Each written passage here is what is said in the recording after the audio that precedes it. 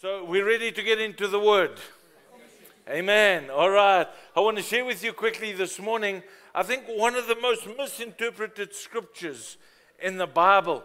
I think it's also one of the unbelievers' favorite scriptures. Not John 3:16 by the way. And it's not Psalm 23. If you had to ask what's the most well-known psalm, it would definitely be Psalm 23.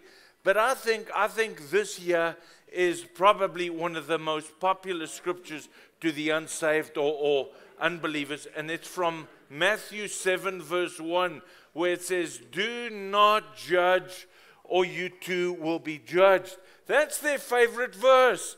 And the second, second most favorite is God helps those who help themselves. Problem is not in the Bible. All right. Why do you think the unsaved love quoting this verse? I think probably because they feel so judged at times, and I'm sorry to say, very often it's judged by Christians, by, by you and me. And so they'll quote that verse, but they won't necessarily use the whole verse. They'll just say, Don't judge me. and so what they're saying is, you know, you have no right to, to, to tell me what I can or what I can't do.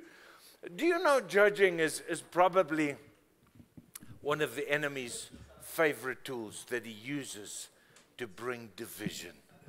It shouldn't really surprise us because, because when somebody is judgmental or critical, you could also say they, they, they're negative toward that other person. They, they're almost looking down upon that other person. Now put yourself in their shoes. How do you feel when there's somebody who's looking down at you, or at least that it's perceived, and, and, and you feel that they're actually a bit negative and a bit critical toward you. Do, do you feel uh, closer to them, drawn to them? Nah, quite the opposite. You know, you, you, you don't want anything to do with somebody like that. And so it, it brings division. And so that's what the enemy does through, through judging. He, he brings division. So what if I said to you, there's something that you and I could do that could maybe reach the unsaved in a greater way? Would you be open to that? Absolutely. If there's anything I can do to make it easier to reach the unsaved, absolutely. Well, here it is. Don't judge. Don't judge. Because do you know the number one thing that puts the unsaved off Christianity? The number one thing that drives them away from Jesus and away from the church and away from you and me is judgmental Christians when they, when they sense they, they're being judged. And so we've got to get this thing right. And, and it's not only for our interaction with the unsaved. I'm going to show you that even our interaction with the people in our homes and families and the workplace, everybody around us. We've got to get this right. Now, of course, of course, we all have an opinion about someone or, or something. All right, it's not wrong to have an opinion. But just because we have an opinion doesn't mean we've got to express it. Okay? That's what it's about at the end of the day. And for those of us, and that's me, with the stronger personality types, we've got to work on this thing a little bit harder. Because for the stronger personality types, you know, we, we think it's all right. You know, we've got to express our opinion. and so I'm telling you, I've been working on this thing. And I'm here today to say to you, I haven't arrived. All right. I'm still working. Lord, help me with this thing. It's difficult. And so, you know, you, you, listen, if you're like me, you may look at somebody else and say, you know, I would never do that fun. I'd never wear that. I'd never drive that. I wouldn't have bought that. It's okay. It's okay.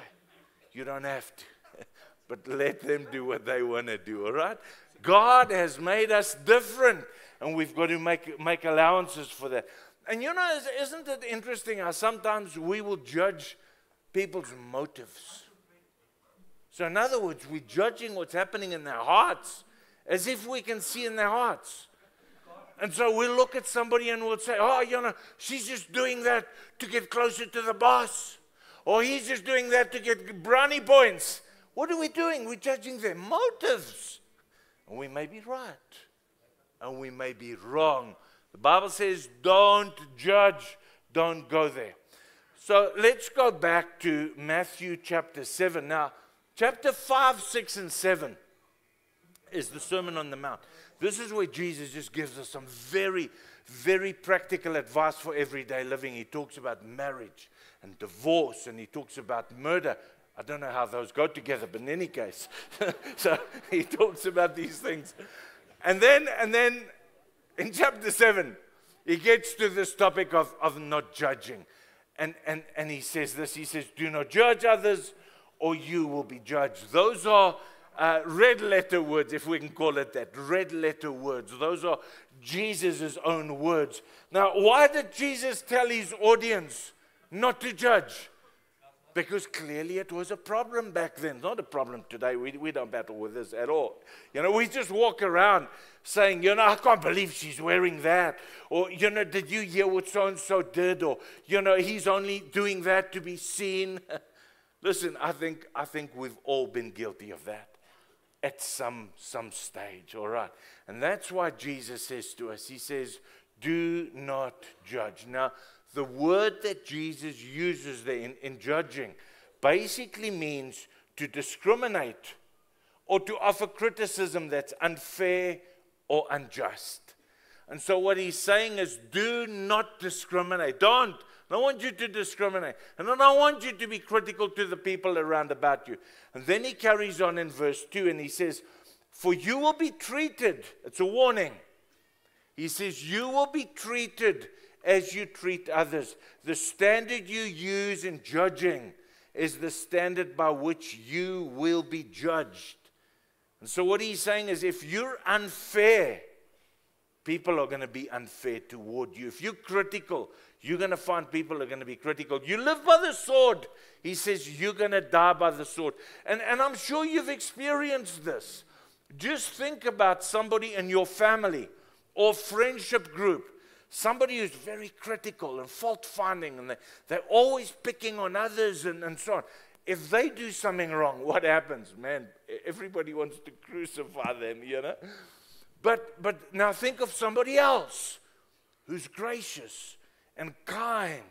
I, I did a funeral the other day for a lady in her 90s and, and, and the, the testimonies again and again, the tributes were just, she was so gracious. She was so kind. Now think about somebody like that. If they do something wrong, everybody going to be on their case? No, not at all. Everybody is gracious toward them. And so that's why Jesus is saying, You will be treated as you treat others.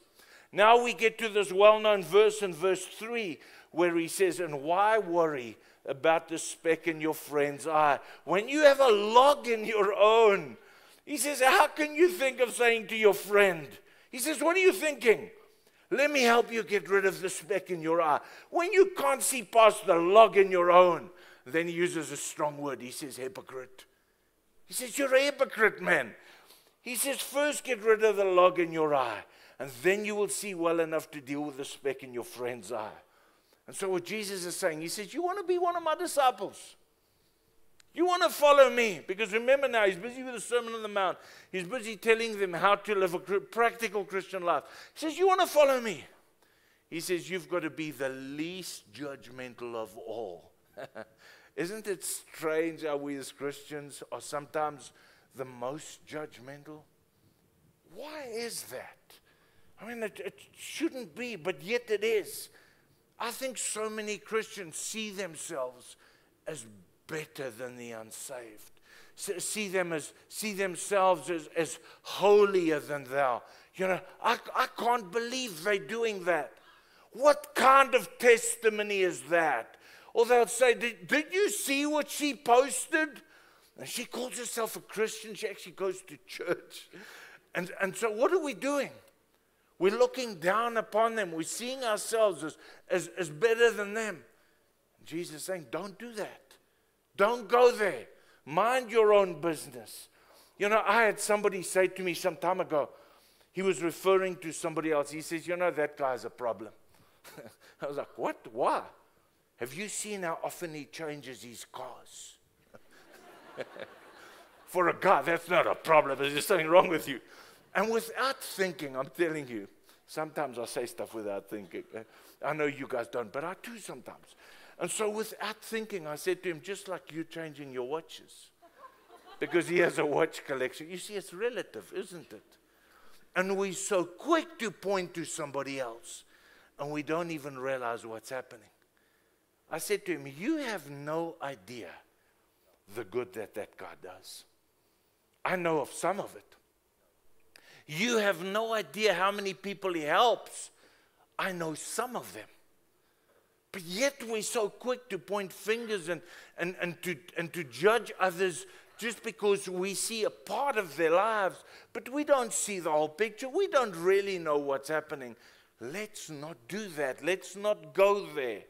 And you know what I found in church world? And, and I don't know why, but this is even worse in, in church.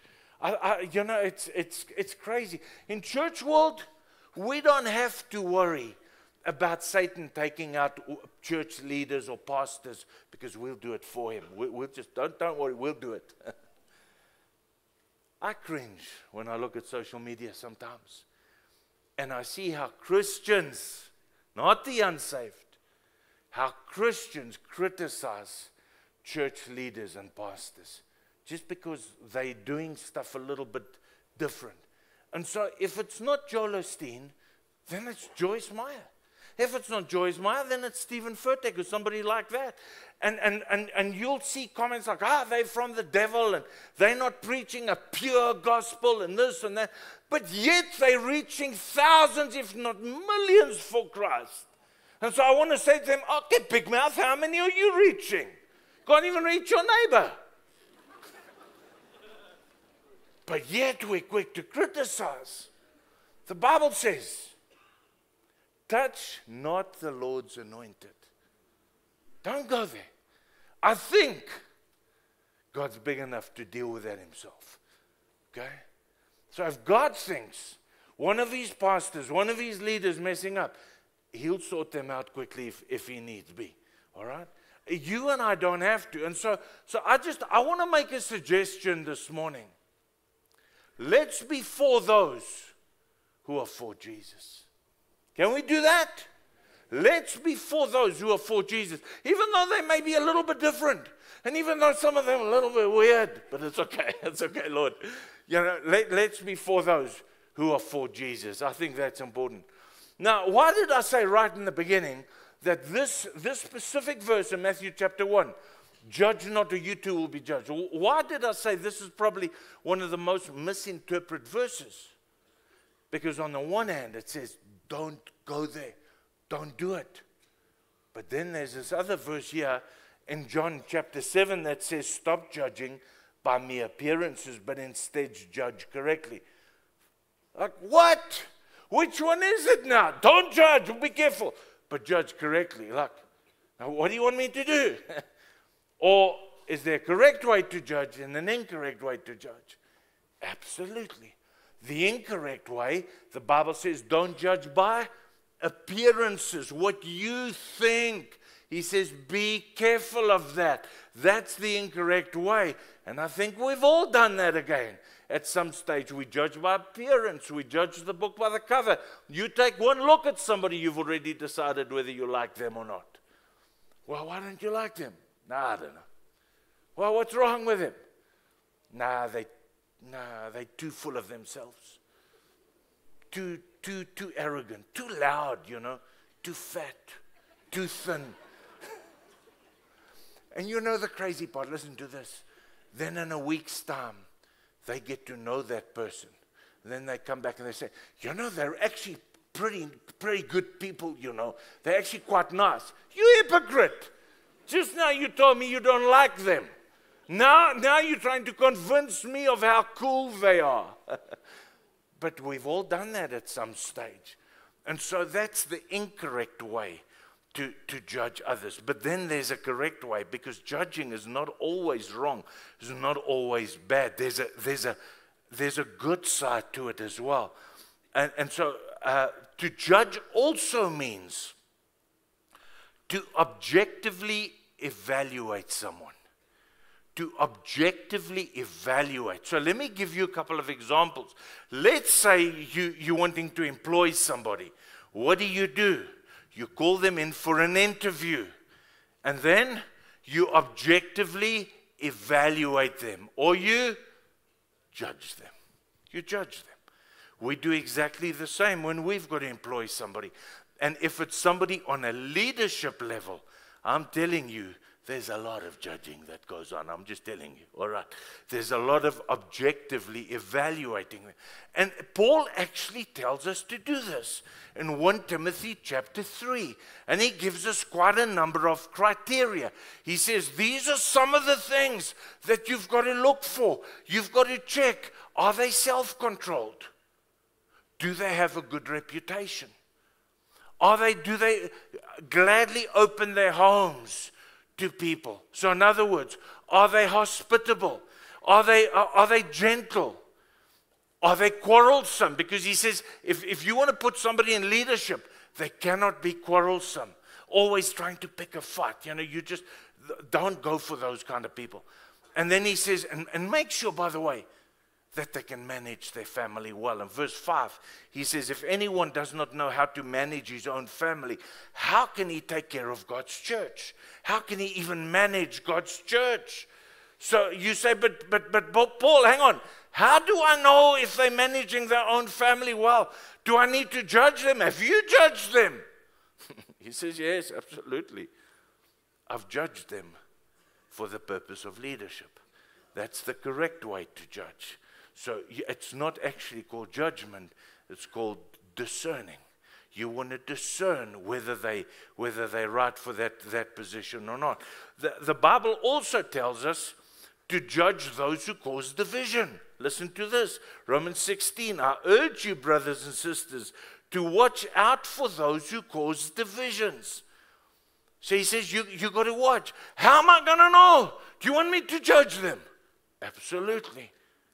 And then he says this, he says, he says, if you mature, you'll be able to discern between good and evil. Let me read it to you here in Hebrews 5.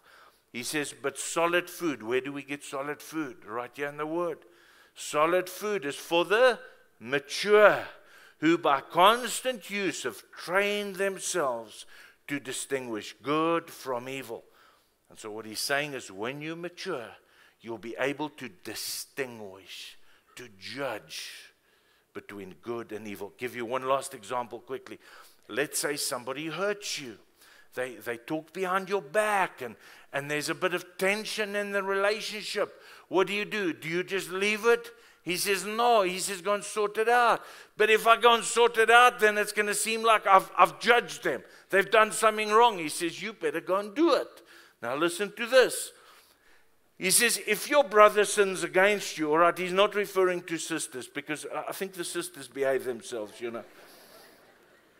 Sisters will never talk out of, out of place or they don't talk much. It's the brothers that mess up. All right?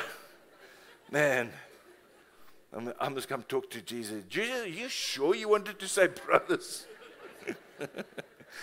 If your brother sins against you, go and show him his fault. And if he listens to you, because guys are great listeners, you, you've won your brother over. All right. But if he will not listen, oh, you know, okay, there are times where they don't listen. He says, take, take one or two others along with you to beat him up so that he will listen properly. oh, man. take one or two others along so that every matter may be established by the testimony of two or three witnesses. And so, judging according to the Bible is not always a negative, it's not always a bad thing. If it's done in the right way, the right time, by the right people. All right? So, there's a, there's a good way and a correct way to judge. But I think, I think sometimes it's just, you know, we just, we just judge people according to our standard. We look down upon them according to, to, to our standard because they don't quite meet our standard. And so we think because, because we do this, they don't do that, they wrong, we're right. But you see, what we've got to realize is we're all in different stages of our race. We're in a different place. God is busy with a different thing in our lives. And so God may be working in my life in a certain area. I may be further along in this area.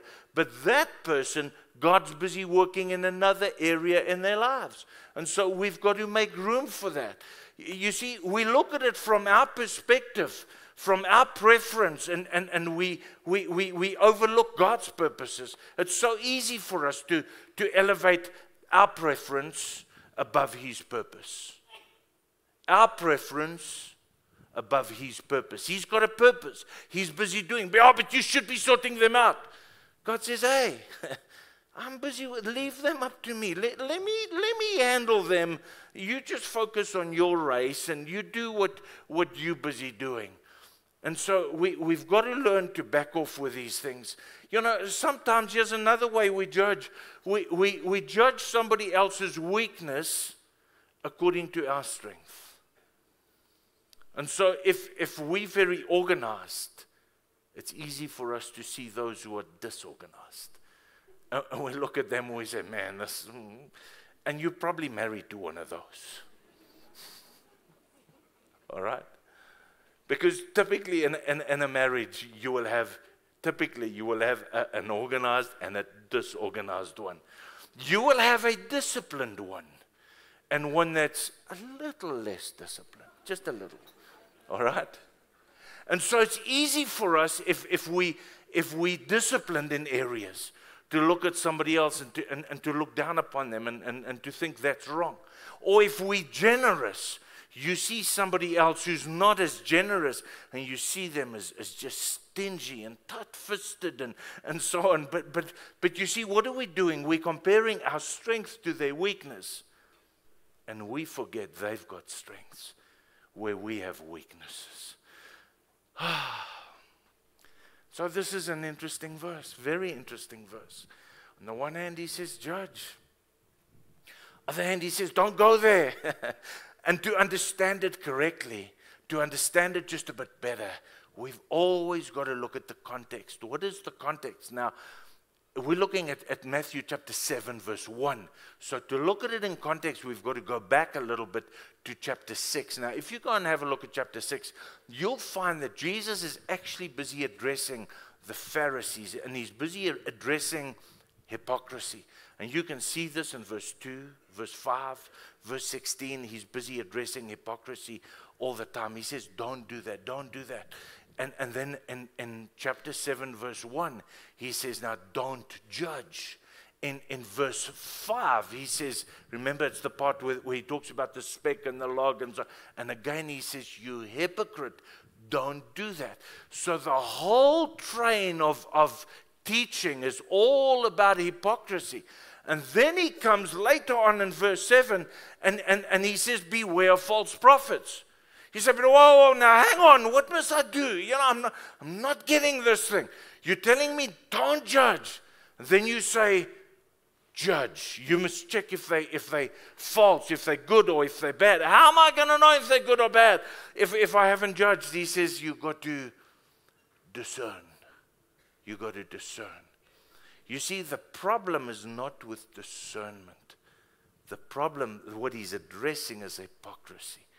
And so, if we can see those two, if we can understand it like that, it helps us. It's, eh, he tells us you've got to discern between good and evil, the right fit for your company or for the position or not. You've got to be able to discern.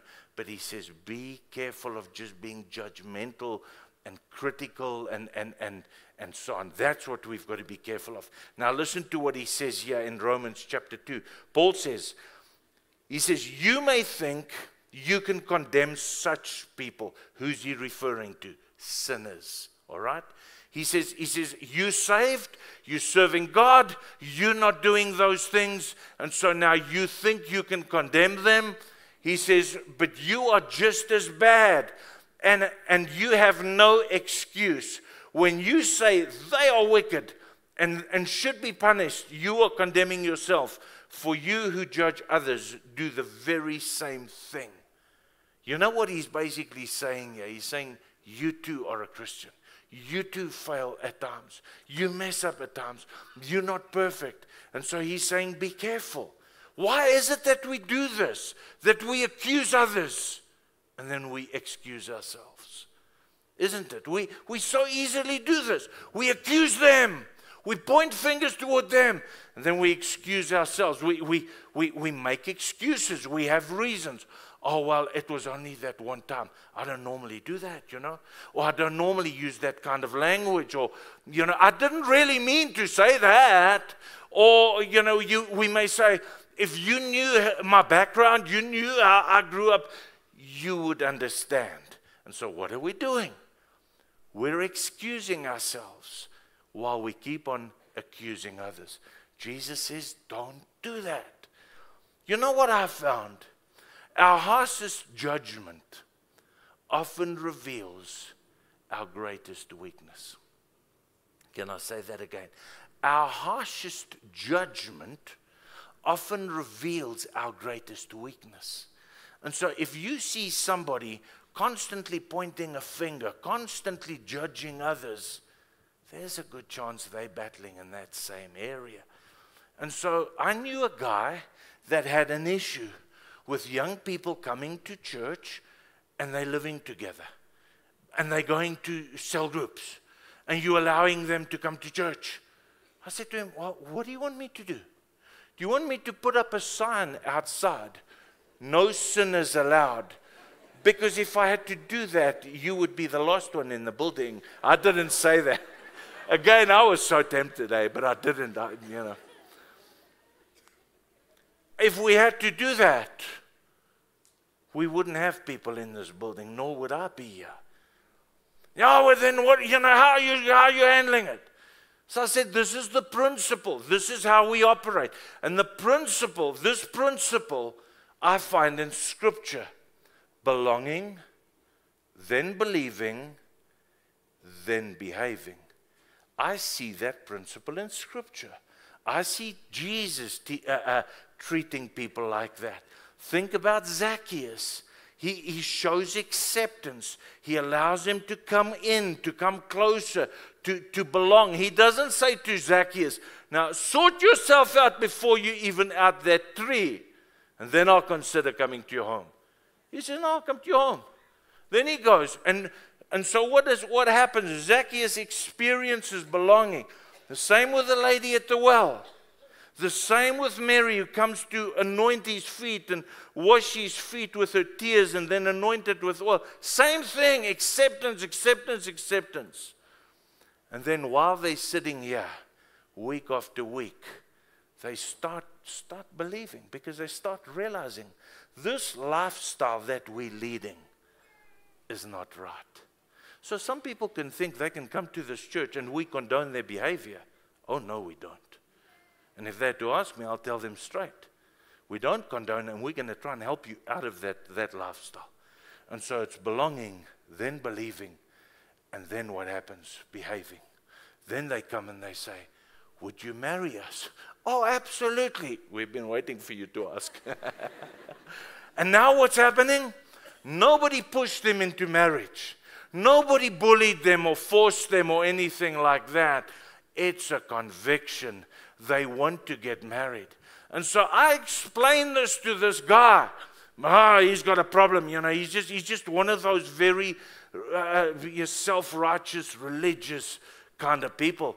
And so it turned out, turned out, he was busy having an affair with his secretary at work. And so I found very often our harshest judgment often reveals our greatest weakness. Be careful. Be careful. Let's lean toward grace. Let's lean toward grace. It doesn't mean we accept sin and we condone it. We don't at all. But we love the people and we want to try and help them out of their sin. And so, isn't this exactly what God has done for us? God's been gracious to us and very patient. And so Paul reminds us of God's grace here in Romans chapter 2. Here's the last scripture for this morning. Paul says to us, Don't you see how wonderfully kind, tolerant, and patient God is with you? Does this mean nothing to you? Can't you see that his kindness is intended to turn you from your sin? Another translation says it's the goodness of God that leads to repentance. Not God's judgment, not God's condemnation upon us, but His goodness. And because God is so good to us, we want to change. And so that's the kind of attitude and that's the kind of heart that I believe God wants us to have toward other people, saved or unsaved. So instead of walking around being judgmental and critical and looking down upon them and finding fault, let's turn away from that. Let's be gracious and kind and forgiving. Like this little old lady I, I, I buried the other day, where everybody just said the same thing and I was standing there thinking, Leonard, if this is your funeral, would they be able to say that of you? Because that was who she was. She didn't do that once or twice, she lived that. And my prayer today is that you and I will live that way. Amen. Come on, let's stand.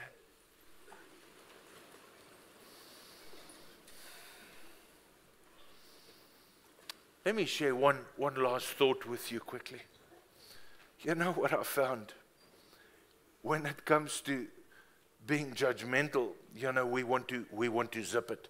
All right, I better not say anything. Just, just zip it. And that's a good start. But you know where it really starts? Is here in the heart, is what we think. Because we can zip it and we can zip it but somewhere along the line it's going to come out. Because from the abundance of the heart, the mouth speaks. And so we, we're going to say the wrong thing at, at some stage. We're just postponing it. But if we can correct the heart, it's not going to come out. And so I've tried, you know, when I have critical thoughts, when I have negative thoughts, just change that and just say, you know what, that's between them and the Lord. I may not have uh, uh done that, but, but, but it's okay. I, I don't know what's happening in their lives. Come, let's pray. Father, thank you that you've been gracious and kind toward us.